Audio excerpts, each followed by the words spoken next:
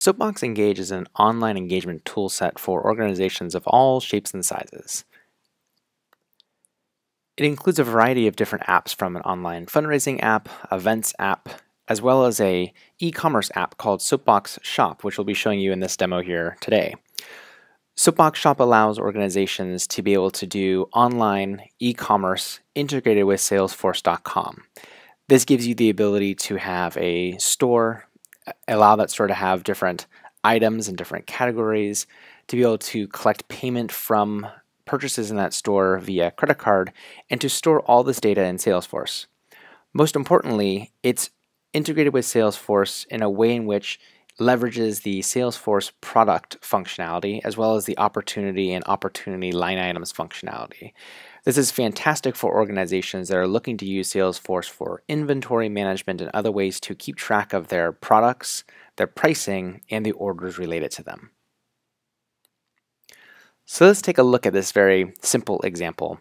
Uh, with Soapbox Engage, the Shop app allows us to customize the design of the template to meet your organization's own design. So in this case, we've just got a sample org that we've created here, just says Soapbox Engage with the logo, and the design would be replaced with your organization's logo and design. And a Soapbox shop can have a, a variety of different shops in it. So you don't need to have just one uh, shop front end. You can have multiple shop fronts within your own Soapbox Engage instance. In this case, the shop has a title. It's got some introductory text. You can include videos, photos, etc. You can also create um, tabs across the top in case you want to be able to show different categories of products. And then down below, we can see the products. Each product can show an image related to it, information about the title, some descriptive information about the product, and then the status of the product, whether or not it's in stock, discontinued, etc. For each of the items, we also have the list price, the ability for you as an administrator to select a minimum and maximum number of items that can be purchased for this particular product. And when you choose this, it would automatically update the totals here. So our total for this product purchase order is now $30, but if I choose, say, three of the life-changing books, this is now 60 plus 30 gives us this $90 here. When I click on any one of the individual products, it brings up this modal view, which can show me more detail, a larger image if I want, more detail about the description, and allows me to go ahead and update and select the quantity here as well too. A little further down the screen is where we start to get the contact information. Our goal with Soapbox Shop is to make it as easy as possible for you to present beautiful web front ends for online purchases, but to do so without having to let a user go through multiple screens of a checkout process to do it all on one screen and to have it all mobile responsive so you can do this from a smartphone as well. So on this page, we see the contact information down below. This would be the contact of the person who's placing this order. A little further down, we have a secure payment section. You'll note it can accept major credit cards, which would integrate with your payment gateway or your credit card processor, as well as PayPal, so PayPal standard, as well as invoice, in case you want to be able to allow somebody to place the order but pay for it later. So let's say we choose Visa here. We now show credit card information, this credit card information includes the name, billing address, etc. Just to note, any of the text you see on the screen from this word credit card, the subtitle of fields, can all be customized on a shop-by-shop -shop basis by yourself as an administrator. It requires no coding, no HTML, no Salesforce Apex code. You can do this on your own within the Soapbox Engage toolset. We can collect the billing information related to that credit card. And now down below we move to the shipping information. You can click a button to go ahead and copy the billing information to fill in the shipping information, or you can have the person go ahead and include this shipping information separately. You can also include any notes regarding the shipment itself, such as where it needs to be delivered, etc. And then email address in case you want to be able to allow somebody to be able to have a receipt of the order as well as being able to have any sort of intangible items such as product downloads, etc., sent to them at a particular email address. At the bottom of the screen, we can see the order summary. So in this case, we have the two coffee mugs and the three life-changing books. the total $90, the ability to place the order, and the footer for the page. So this is what it's presented to the user on the front end of the website when they're looking at their shop. Now let's see what happens once that data goes into Salesforce. When somebody places an order, that order is represented by an opportunity in Salesforce. An opportunity, as well as the relationship of this opportunity to an account, so this would be the company placing the order, and the contact, the person who placed the order. This all happens automatically and will even match against existing accounts and contacts. So if I'm a return customer and I'm coming back and I'm placing a new order, all of this data would already be matched to my existing contact and account in your Salesforce instance.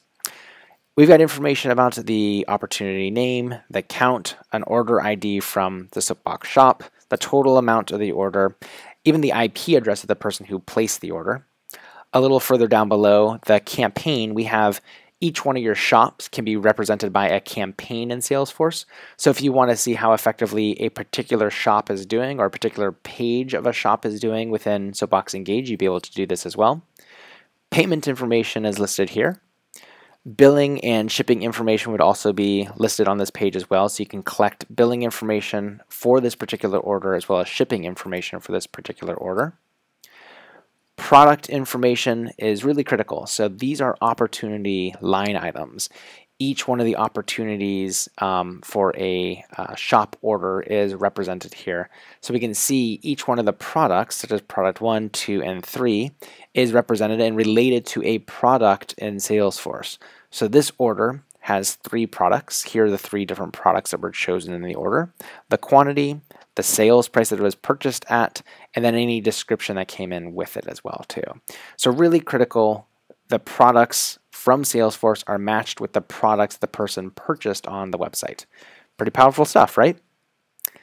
And finally, the contact role is the person who placed the order and a relationship between this order and their contact and their account. So let's take a look at what this looks like within the Soapbox Engage Administrator, how we can set up a store. So you go within Soapbox Engage and you can go directly to the Shop app. And within the Shop app, you've got the ability to see the Stores Manager. Stores are essentially the pages that we just saw in our example below or earlier. We can go ahead and create multiple stores. And when we look at any one particular store, we can see the title of the store, is it published, a public facing description, and then just the basic um, intro and outro text for the particular store page.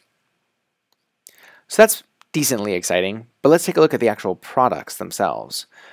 With Soapbox Shop, you create the products within Soapbox Shop and you match it to existing products and price books within Salesforce. So we can see a listing here in the Products Manager of the different products we've got in the store, their status, list price, etc. And if I look at any one particular product, such as the coffee mug, I can see the coffee mug's name, an alias, the product code that we've chosen for it, any sort of summary information we have for it, an internal description, whether or not it's published, a list price, a tax deductible price in case you're a nonprofit organization, any sort of custom field values for more advanced services, uh, a status, and then most importantly, the price book entry in Salesforce. This is where you match a product in Salesforce with its price to a product in Soapbox Engage. So if I go ahead and click on the select button here, this will pop up a window and it'll show me all the different price book entries we've got in our Salesforce organization.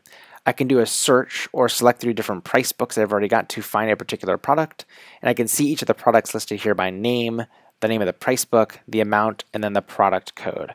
So really easy for you to relate a product in Salesforce with a product you've created in Soapbox Shop.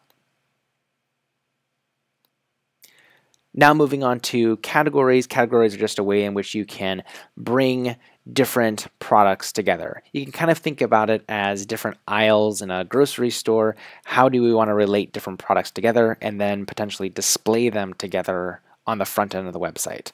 Well, this is pretty straightforward. You can name your category, you choose which store it's related to, and then the order and the publishing status of which you want to create it.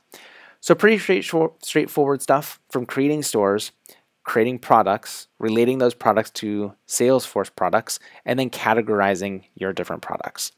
All this is available to you today in our Soapbox Shop app, which is part of the Soapbox Engage suite. If you want to learn more, just go to www.soapboxengage.com. Thanks for watching.